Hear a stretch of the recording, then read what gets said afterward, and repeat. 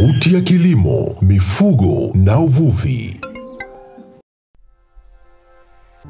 Ufugaji wa kuku ni moja ya njia ya kumpatia mfugaji kipato kikubwa na kuweza kumsaidia kujikimu katika maisha yake. Basi leo nataka tuangazie juu ya kuku aina ya Black Australorp. Hawa ni kuku weusi wa Malawi.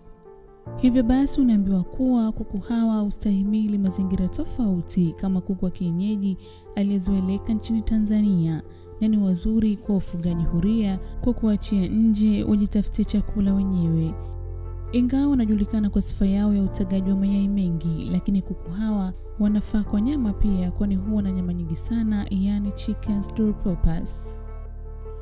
Kuku hawa huweza kumpatia mfugaji faida kubwa, kwani ni wazuri kwa biashara ya mayai na nyama pia, lakini pia hawana sifa nzuri ya kulalia mayai. Vilevile akilalia hutatua vifaranga vingi na ni wazuri kwa uleaji wa vifaranga vyao.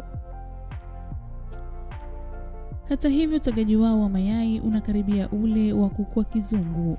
Kuku hawa ni wakubwa, wazito na wanamvuta sana kuangalia, na wanapendeza pia kwa ufugaji mdogo katika mazingira ya nyumbani. Wana michirizi ya kijani pale wanapomulikwa kwenye mwanga mkali wa jua. Kwa wastani, Black Australorp hufikisha mayai 250 kwa mwaka. Wakiwa katika mazingira mazuri, kuku hawa ni wapole na rafiki kwa binadamu. Vilevile vile kuku hawa ni wagumu, hawapati magonjwa mara kwa mara, hivyo basi huvumilia magonjwa ya aina nyingi na hawachagui chakula, na pia wanakula vyakula wanavyokula kuku wengine wa kienyeji. Hivyo kuku hawa huanza kutaga wakiwa na umri wa miezi mitano na nusu hadi sita, na jogoo hufikisha kilo 3.5 mpaka 5.0 na temba au kuku mwenye vifaranga wadogo na temba au kuku mwenye vifaranga wadogo hufikisha kilo 3.0 mpaka 3.7.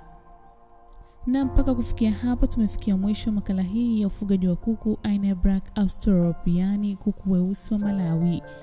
Na nikukumbushe tuko tunapatikana kwenye social media zote, yani Facebook, Instagram, Twitter na LinkedIn, na pia bila kusahau kutusikiliza kupitia YouTube chaneli yetu ya Atvog TV.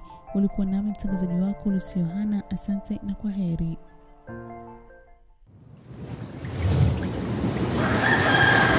Sauti ya kilimo, mifugo na uvuvi.